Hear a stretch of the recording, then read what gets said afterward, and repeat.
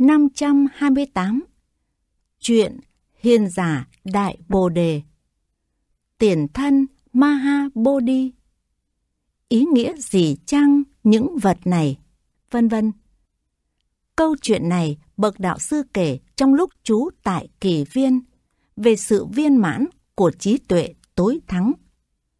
Hoàn cảnh câu chuyện sẽ được kể trong Tiền thân Maha Umaga số 546, tập 7. Vào dịp này, bậc đạo sư bảo, không phải chỉ bây giờ mà cả xưa kia nữa. Như Lai cũng đã sáng suốt đánh bại mọi kẻ tranh chấp biện luận.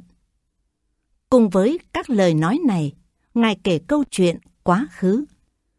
Ngày xưa, trong triều vua Brahmadatta, Bồ Tát được sinh tại Ba La Nại trong vương quốc Kasi và một gia đình Bà La Môn miền Bắc có thế lực. Của cải lên đến 800 triệu. Cha mẹ đặt tên ngài là Nam tử Bodhi, đại trí. Khi ngài lớn khôn, ngài được dạy đủ các môn học thuật tại Takasila, rồi trở về nhà, ngài sống trong sự săn sóc nuông chiều của gia đình. Dần dần, Ngài đoạn trừ mọi ác dục thế gian và lui về sống ở vùng Tuyết Sơn, bắt đầu cuộc đời tu hành của một du sĩ khất thực. Ngài ở đó một thời gian thật lâu, ăn toàn củ và trái rừng.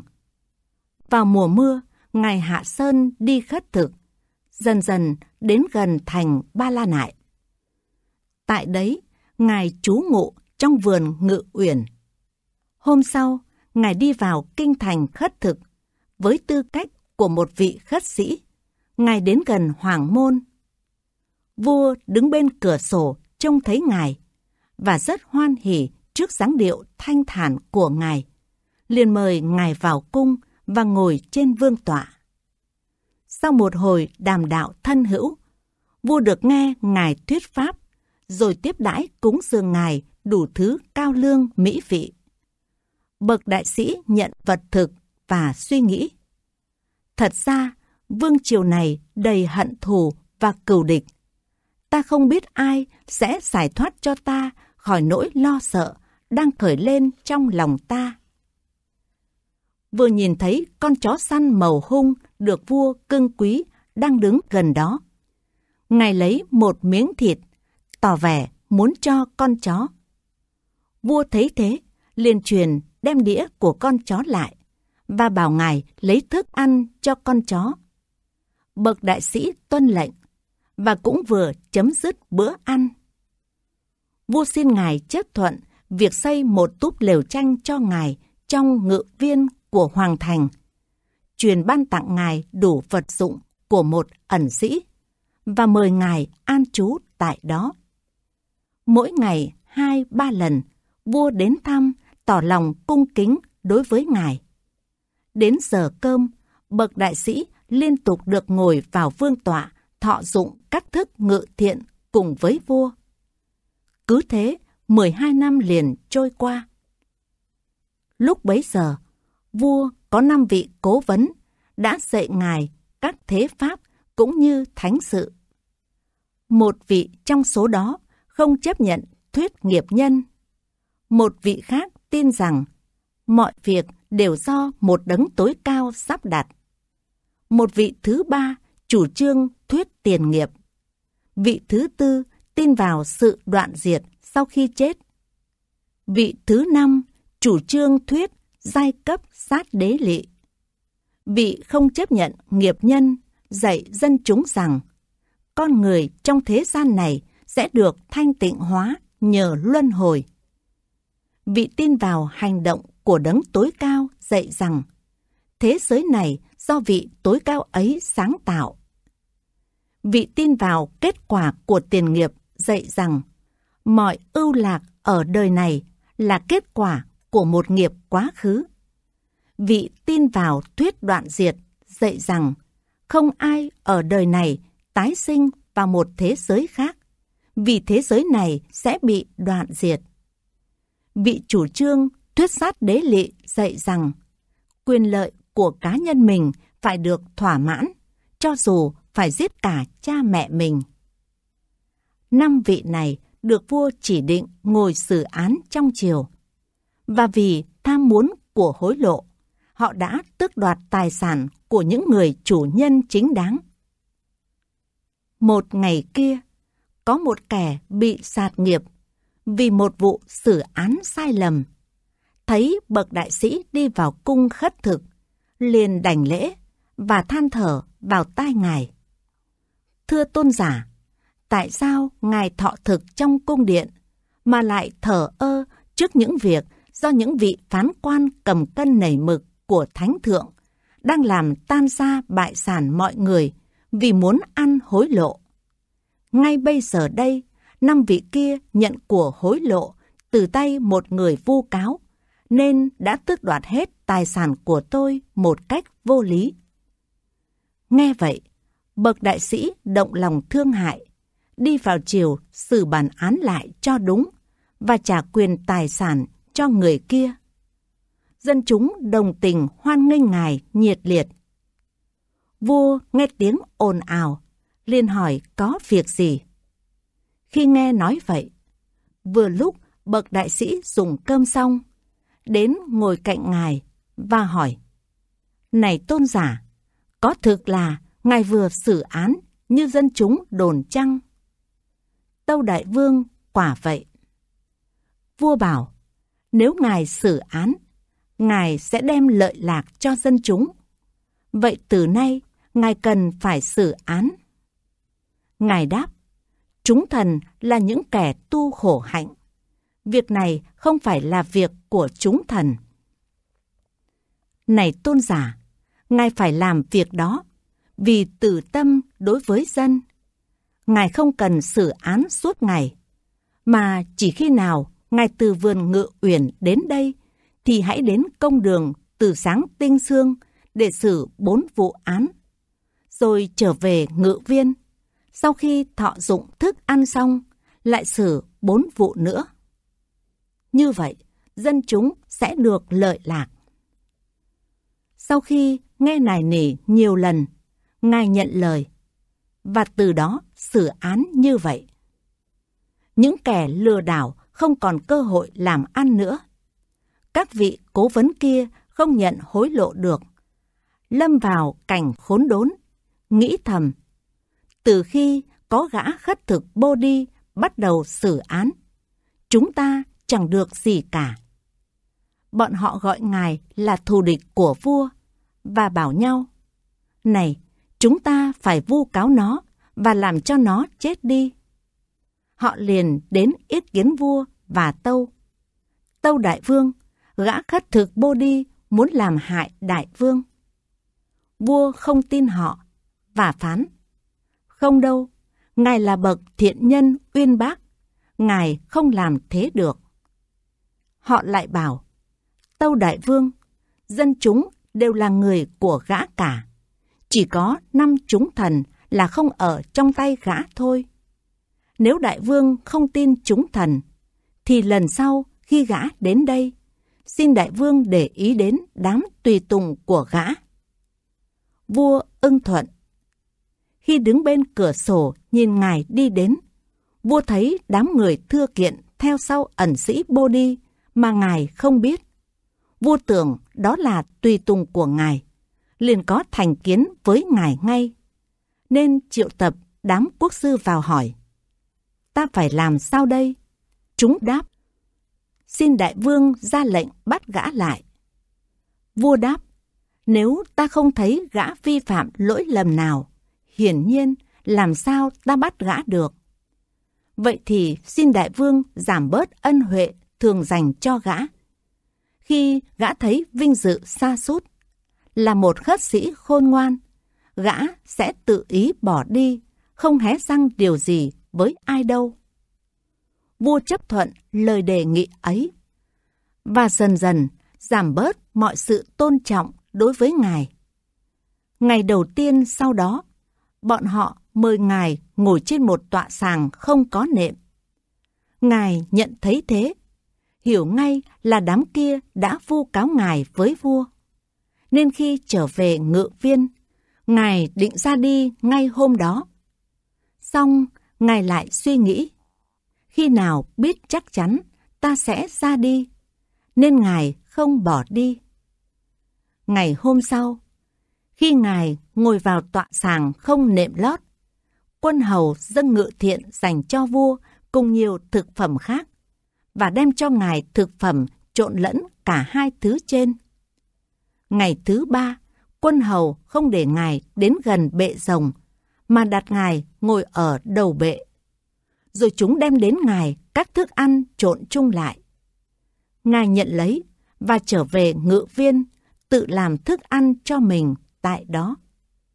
Ngày thứ tư, họ đặt Ngài trên hiên nhà phía dưới và đem cho Ngài cháo bột gạo. Ngài cũng đem về ngự viên, tự dọn thức ăn lấy. Vua bảo, mặc dù mọi vinh quang dành cho gã đã giảm sút, khất sĩ đại trí vẫn không bỏ đi. Vậy ta phải làm sao đây? Họ bảo, Tâu Đại Vương, không phải gã đến đây để khất thực, mà vì gã muốn tranh quyền bá chủ. Nếu gã đến đây để khất thực, thì gã đã bỏ đi ngay hôm đầu tiên gã bị coi khinh. Vậy ta phải làm gì đây?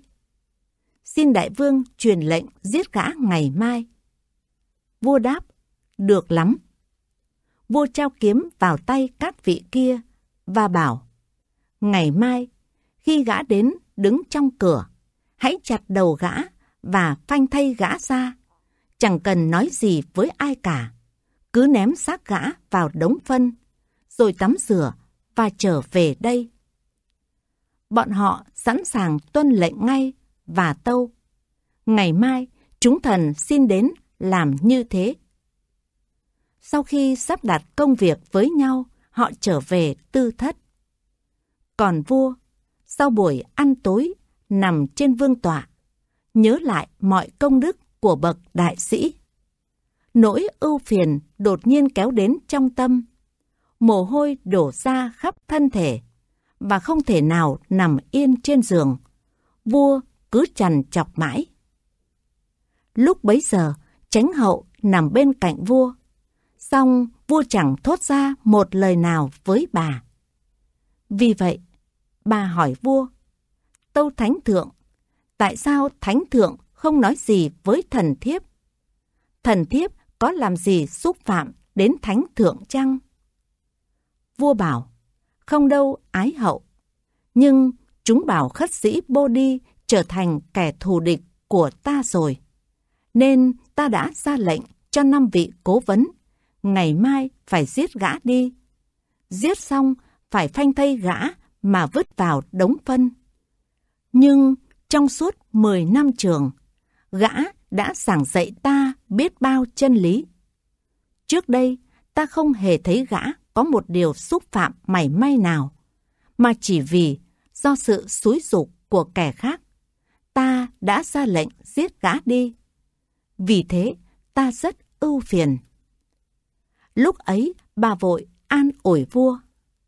Tâu Thánh Thượng, nếu gã là kẻ thù của ta, tại sao Thánh Thượng lại buồn giàu khi giết gã?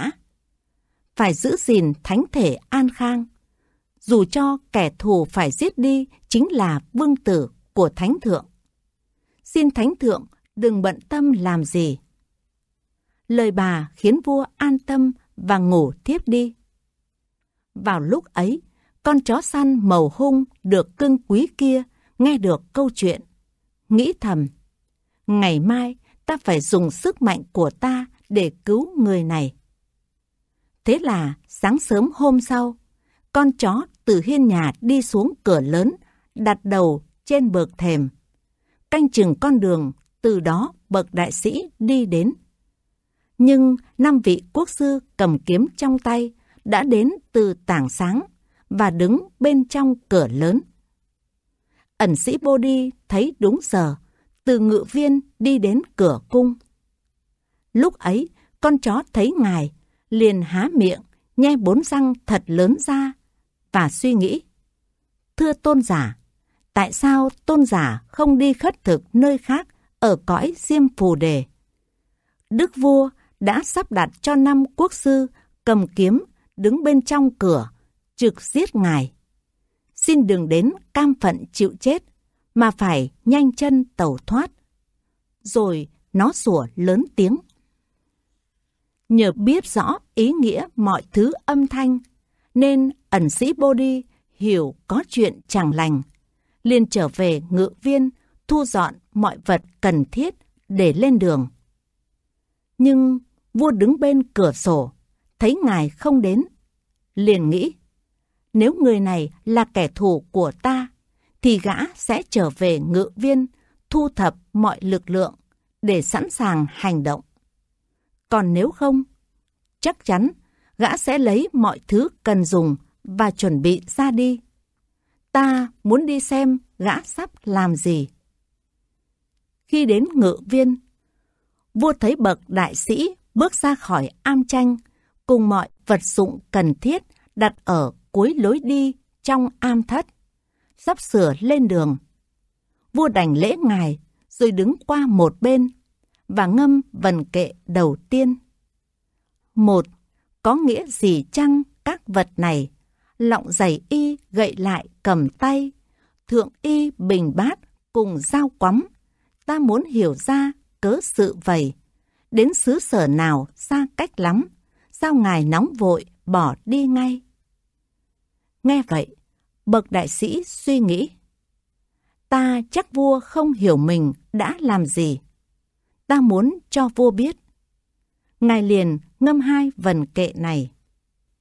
Hai, Tâu Đại Vương hơn một thập niên, hạ thần an trú trốn hoa viên, từ nay về trước chưa hề thấy con chó này cất tiếng sủa lên. Ba, Hôm nay chó nọ lại nhe răng, trắng nhờn kêu căng thật dữ dằn, vì đã nghe ngài cùng tránh hậu, báo cho thần biết sủa vang dần. Lúc ấy, vua đành nhận tội và ngâm vần kệ thứ tư, xin ngài tha thứ. 4. Tội ấy của ta thật đúng phần, đích ta đà nhắm giết tôn nhân, song nay ân huệ ban lần nữa, mong ước tôn nhân hãy nán chân. Nghe lời trên, bậc đại sĩ đáp.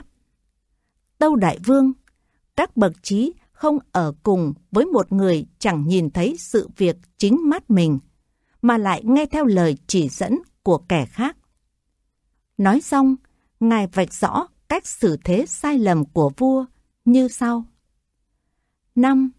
Thực phẩm ngày xưa sạch trắng ngần, kế theo màu sắc tạp nham dần, đến nay đã hóa thành nâu sẫm. Chính lúc này ta phải rút chân. 6. Buổi đầu tọa thực ở trên ngai, kế đó cầu thang cuối bệ dài. Trước lúc ta chờ dài cổ họng, ta đành từ giã trốn này thôi. 7. Ngài chớ mến yêu bạn bất chung, khác gì đâu cái giếng khô cùn, dù đào sâu đến bao nhiêu mẫu, dòng nước tuôn ra cũng đục bùn. 8. Phải lo kết nghĩa bạn trung can, hãy tránh xa liền bạn bất nhân, như kẻ khát đi tìm suối nước, bạn vàng trung tín phải theo gần. 9. Lưu luyến bản thân, luyến ái ngài, đem tình ngài đáp lại tình ai.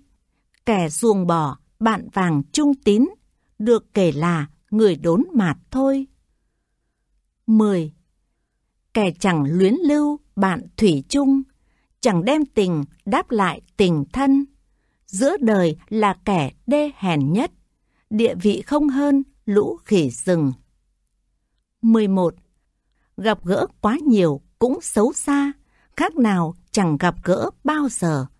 Hỏi xin ân huệ nào nhanh quá, cũng khiến tình thân hóa nhạt nhòa. 12. Viếng bạn xong đường đến viếng luôn, cũng không nấn ná bước dừng chân.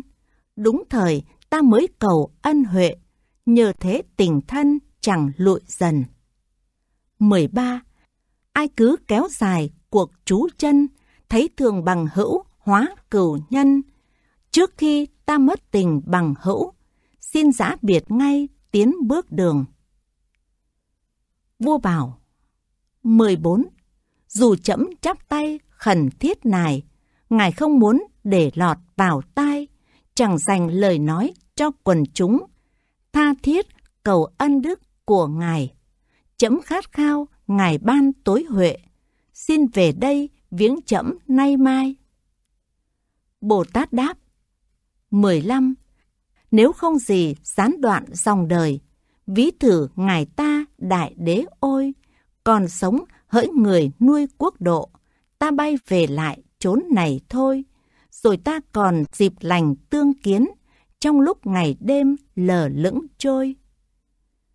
Bậc đại sĩ nói thế xong, còn thuyết giáo cho vua. Ngài bảo, xin đại vương hãy luôn tỉnh giác.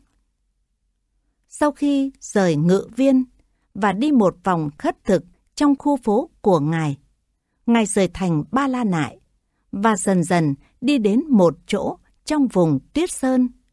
Trú tại đó một thời gian, rồi ngài hạ sơn đến trú trong một khu rừng gần một thôn làng vùng biên địa. Khi ngài vừa ra đi, các cố vấn lại ngồi xử án, bóc lột dân chúng và suy nghĩ, nếu gã đại bồ đề khất sĩ trở lại đây, ta sẽ mất kế sinh sống. Vậy ta phải làm gì để ngăn cản gã ấy trở lại? Rồi họ nghĩ đến điều này. Những người như vậy không thể rời vật mà họ lưu luyến. Vậy vật gì làm gã lưu luyến đây? Khi thấy chắc chắn đó phải là bà tránh hậu của vua, họ suy nghĩ, đây là lý do khiến gã ấy trở về đây. Ta phải nhanh tay với bọn họ và khiến bà ta phải chết. Họ liền nói lại điều này với vua. Tâu Đại Vương, hôm nay có một lời đồn đại lan khắp kinh thành. Đồn đại việc gì? Khất sĩ Đại Bồ Đề và Chánh Hậu vẫn gửi tin tức cho nhau. Với mục đích gì? Dân chúng bảo, vị ấy nhắn tin với Chánh Hậu như vậy. Lệnh bà có đủ khả năng giết đức vua và trao chiếc lọng trắng cho ta chăng? tránh Hậu nhắn lại vị kia việc giết vua đúng là trọng trách của ta. Vậy ngài phải đến đây gấp. Bọn họ cứ nói đi nói lại mãi điều này, cho đến khi vua tin đó là sự thật. liền hỏi, vậy phải làm gì bây giờ? Họ bảo, ta phải giết tránh hậu đi.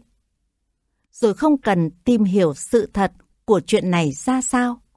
Vua phán Vậy thì giết tránh hậu đi, rồi phanh thây bà ném vào đống phân. Họ tuân lệnh ngay, và tin hoàng hậu chết chấn động khắp kinh thành. Lúc ấy, bốn vương tử bảo nhau, mẫu hậu ta dù vô tội đã bị hành hình do lệnh người này. Và bọn họ trở thành cừu địch của vua. Vua vô cùng kinh hãi. Bậc đại sĩ lúc ấy đã hay tin sự việc xảy ra, liền suy nghĩ. Lúc này, không có ai ngoài ta có thể làm dịu lòng các vương tử này và khuyên họ tha tội phụ vương. Ta sẽ về cứu mạng vua và giải thoát các vương tử khỏi mục đích tội lỗi của họ. Vì thế, ngày hôm sau, Ngài đi vào ngôi làng ở biên địa sau khi ăn thịt khỉ do dân làng cúng dường, Ngài xin miếng da khỉ đem về phơi khô trong am chanh, cho đến khi hết mùi hôi, rồi làm thành y trong, y ngoài và khoác lên vai. Tại sao Ngài làm thế? Ngài có thể bảo, nó rất hữu ích vào ta hoác tấm da lên, Ngài đi dần vào thành Ba La Nại tiến lại gần các vương tử và bảo họ giết phụ thân là một việc ác khủng khiếp. Các vương tử không nên làm vậy. Làm người không ai thoát khỏi mạng vong chết chóc. Ta phải đến đây để hòa giải các vị. Khi ta nhắn tin, chư vị phải đến gặp ta. Sau khi khích lệ các vương tử xong, Ngài đi vào ngự viên trong kinh thành. Ngồi trên phiến đá, trải miếng da khỉ lên trên. Khi người giữ vườn thấy thế, liền vội phi báo cho vua. Vua nghe xong lòng đầy hoan hỉ, bảo năm vị cố vấn cùng đi với vua đến đảnh lễ bậc đại sĩ, rồi ngồi xuống để chuyện trò vui vẻ cùng ngài. Bậc đại sĩ chẳng hề đáp lễ thân mật gì cả, cứ tiếp tục vuốt tấm da khỉ. Vua hỏi, Này tôn giả, tại sao không nói một lời nào với trẫm lại cứ vuốt tấm da? Vậy nó ích lợi cho ngài hơn trẫm chăng? Tâu Đại Vương, chính thế, con khỉ này thật hữu dụng bậc nhất cho bần đạo. Khi bần đạo đi đây đó, thường ngồi trên lưng nó. Nó mang bình nước cho bần đạo. Nó quét sạch chỗ ở của bần đạo. Nó làm đủ mọi việc lặt vặt cho bần đạo. Vì tính khờ khạo của nó, bần đạo đã ăn thịt nó, lấy ra phơi khô, rồi trải ra nằm lên trên. Thật nó rất ích lợi cho bần đạo. Ngài nói vậy để đánh tan luận điệu của đám tà đạo kia, gắn mọi việc làm của một con khỉ vào tấm da khỉ. Và với mục đích này, Ngài đã nói như trên. Từ việc khoác tấm da khỉ, Ngài bảo, khi bần đạo đi đây đó, thường ngồi trên lưng khỉ. Từ việc đắp da lên vai và mang bình nước, Ngài bảo, nó mang bình nước. Từ việc quét nhà bằng tấm da, Ngài bảo nó quét nhà. Khi Ngài nằm, lưng Ngài đụng vào tấm da. Khi Ngài bước lên tấm da, bàn chân Ngài đụng vào nó. Ngài bảo, nó làm đủ mọi việc cho bần đạo. Khi Ngài đói lòng, Ngài đã ăn thịt nó. Nay Ngài bảo, nó khờ khạo như thế, nên bần đạo đã ăn thịt nó rồi. Nghe vậy, các quốc sư suy nghĩ, người này mang tội sát sinh. Hãy xem hành vi của ẩn sĩ này. Gã bảo, gã giết con khỉ, ăn thịt nó, rồi đi khắp nơi, mang theo da khỉ. Họ vỗ tay cười chê ngài. Bậc đại sĩ thấy họ làm như vậy, tự bảo, bọn này không biết ta đến đây với tấm da này để đánh bại các tà thuyết của chúng. Ta không bảo cho chúng biết đâu. Khi nói chuyện với kẻ không chấp nhận nghiệp nhân, Ngài hỏi, tại sao tôn giả khiển trách ta? Vì Ngài đã phạm tội phản bạn và sát sinh. Lúc ấy, bậc đại sĩ bảo, nếu người ta tin vào tôn giả và giáo lý của Ngài, rồi hành động theo đó, thì còn gây tội lỗi nào nữa? Rồi để đánh bại tà thuyết của lão, Ngài nói, 16. Nếu thuyết Ngài cho thiện ác hành đều do duyên cớ tự nhiên sinh, thì trong các việc làm vô ý, tội lỗi làm sao thấy chỗ mình. 17. Nếu lý thuyết này Ngài chủ trương, và đây là giáo pháp như chân, thì hành vi của ta là đúng khi giết khỉ kia để hưởng phần. 18. Song nếu Ngài trông thấy rõ ràng đây là lý thuyết thật sai lầm, thì Ngài sẽ chẳng bao giờ nữa khiển trách việc ta với luận đàm. Bậc đại sĩ đã chỉ trích lão như vậy, khiến lão phải im lặng. Vua cảm thấy buồn bực, ngồi xuống. Còn bậc đại sĩ, sau khi đánh bại tà thuyết của lão ấy, lại nói với kẻ tin rằng mọi việc đều do một đấng tối cao tạo ra. Ngài bảo, Này tôn giả, tại sao Ngài khiển trách ta khi Ngài thực sự tin vào lý thuyết cho rằng mọi vật đều do một đấng tối cao tạo nên? Rồi Ngài ngâm kệ. 19. Nếu có Chúa Trời đủ vạn năng cho người thiện ác lạc ưu tràn, đấng kia quả thật mang đầy tội, người theo ý Chúa chỉ chuyên làm. 20. Nếu lý thuyết này Ngài chủ trương và đây là giáo pháp như chân, thì hành vi của ta là đúng khi giết khỉ kia để hưởng phần. 21.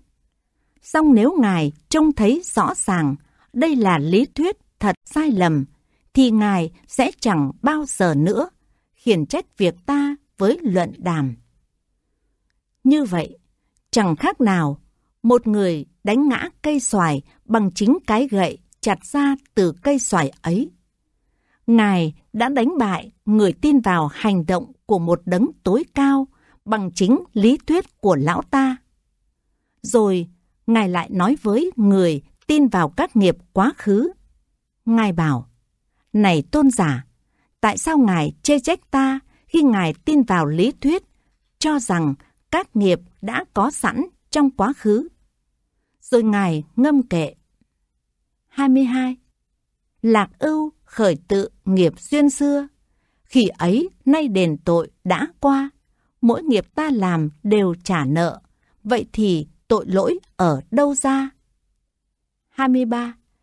Nếu lý thuyết này Ngài chủ trương và đây là giáo pháp như chân, thì hành vi của ta là đúng khi giết khỉ kia để hưởng phần. 24. Song nếu Ngài trông thấy rõ ràng đây là lý thuyết thật sai lầm, thì Ngài sẽ chẳng bao giờ nữa khiển trách việc ta với luận đàm. Sau khi bác bỏ tà thuyết của người này, Ngài quay lại kẻ tin vào thuyết đoạn diệt và bảo Này tôn giả, Ngài chủ trương là không có thưởng phạt.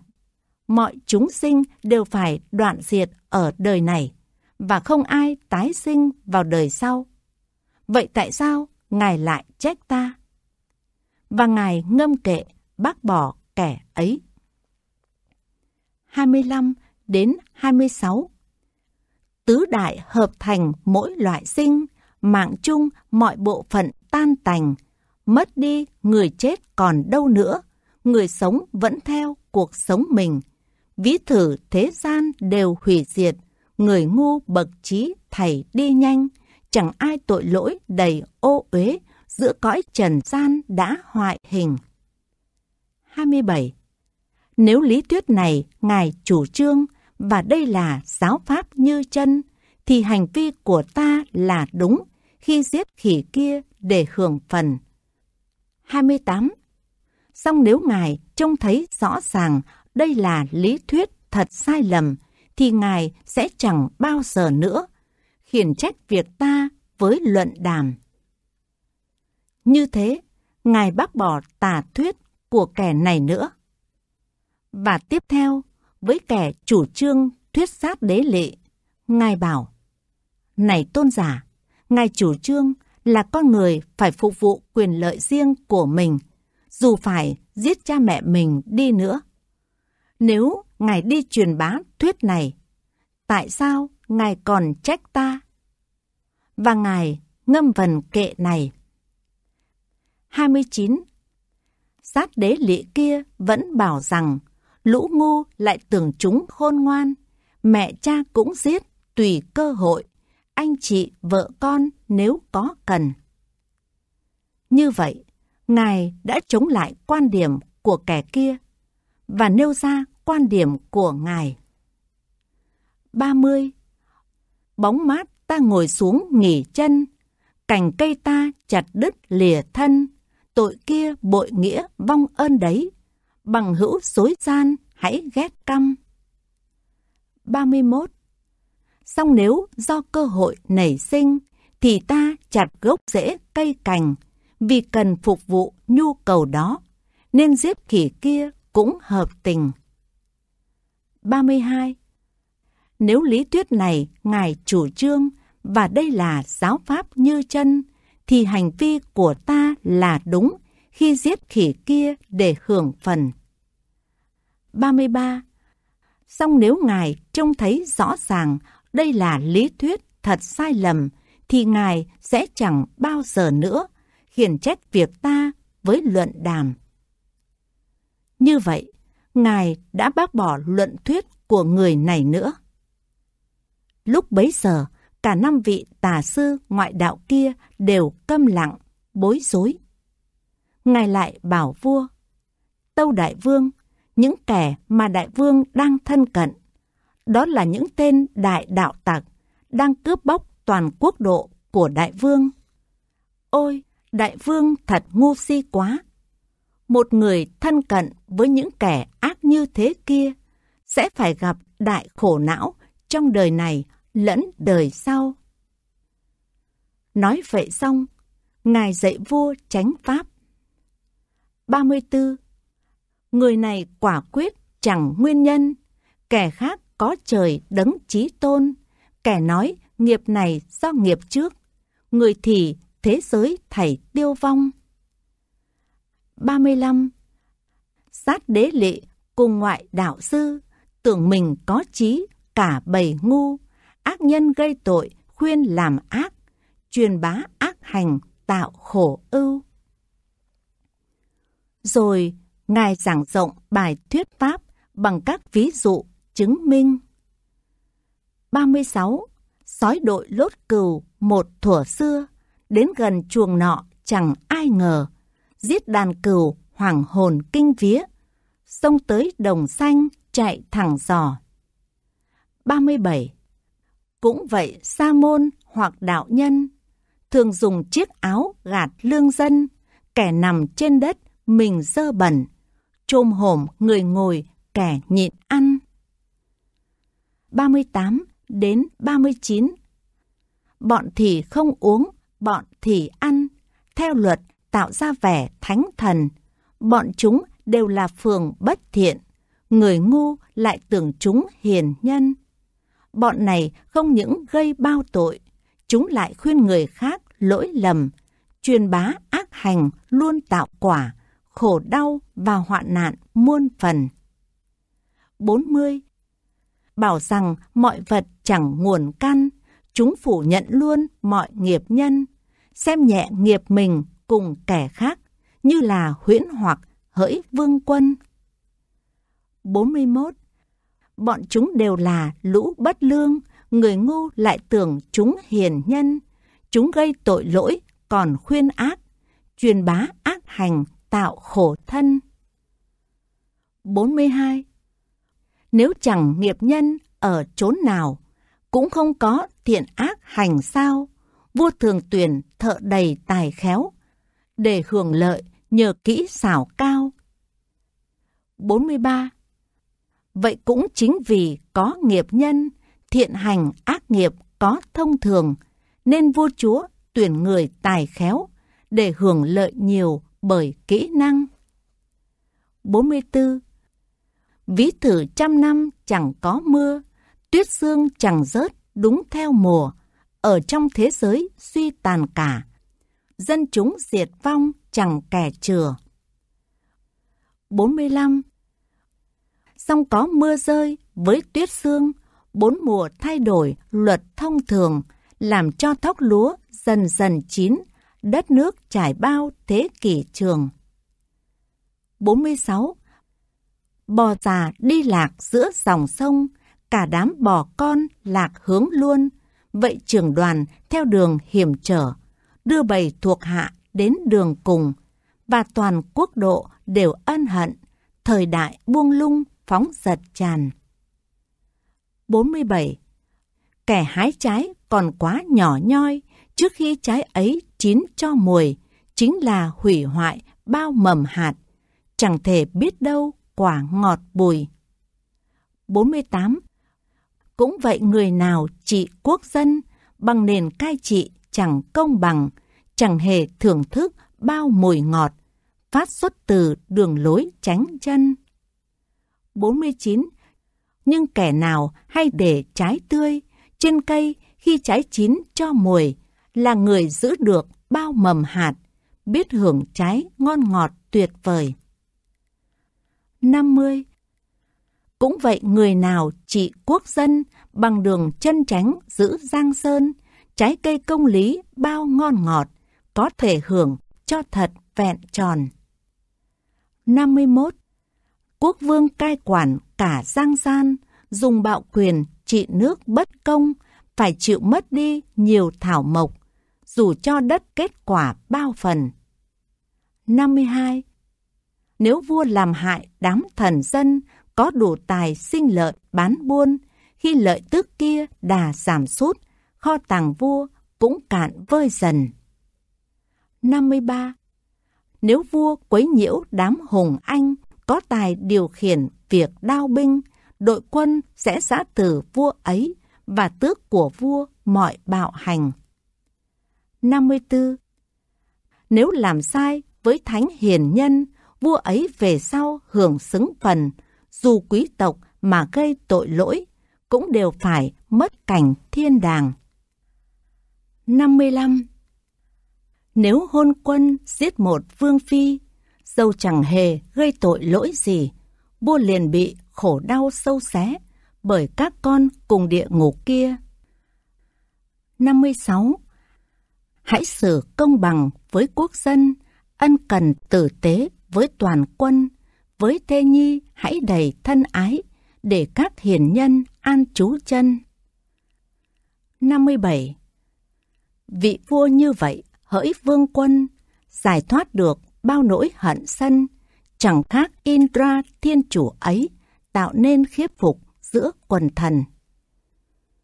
Bậc đại sĩ sau khi giảng chánh pháp cho vua xong, liền triệu bốn vương tử lại và dạy bảo họ, giải thích cho họ hiểu hành động của vua, rồi ngài nói hãy xin vua cha tha tội. Sau khi thuyết phục vua tha thứ cho họ, ngài bảo, Tâu Đại Vương, từ nay xin Đại Vương đừng nghe lời các kẻ vu cáo mà không cân nhắc thực hư. Cũng đừng phạm các tội bạo hành tương tự như thế nữa. Còn các vương tử, xin đừng phản bội vua cha. Như vậy, Ngài đã thuyết giáo cho tất cả hoàng tộc. Lúc ấy, vua bảo, Thưa tôn giả, chính vì những kẻ này mà trẫm phạm tội với Ngài cùng hoàng hậu. Chính vì nghe lời chúng mà trẫm gây tội ác. Trẫm muốn xử tử chúng luôn cả năm tên. Xin đại vương đừng làm vậy. Thế thì trẫm sẽ ra lệnh chặt tay chân chúng đi. Xin cũng đừng làm việc đó. Vua ưng thuận bảo, thôi cũng được. Rồi vua tước bỏ mọi tài sản của họ và hạ nhục họ bằng nhiều cách như buộc tóc họ thành năm tròm, xiềng họ lại và dày phân bò lên người họ, rồi đuổi ra khỏi nước. Còn Bồ Tát, sau khi ở lại vài ngày nữa để thuyết giáo vua, khuyên vua phải tỉnh giác đề phòng xong, lại ra đi lên vùng tuyết sơn, tu tập thần thông, phát xuất từ thiền định. Và suốt đời Ngài thực hành tứ vô lượng tâm, nên được tái sinh vào phạm thiên giới. Bậc đạo sư chấm dứt pháp thoại và bảo, Này các tỷ kheo, không phải chỉ bây giờ mà cả ngày xưa nữa, như Lai đã có đại trí đánh bại mọi kẻ tranh luận. Rồi Ngài nhận diện tiền thân. Thời bấy giờ, năm vị tà sư đó là Purana Kassapa, Makhali Gosala, Pakuda Kachana, Asita Kesa Kambali, Nigantha Natha Putta. Con chó màu hung là Ananda và vị khất sĩ Đại Bồ Đề chính là ta.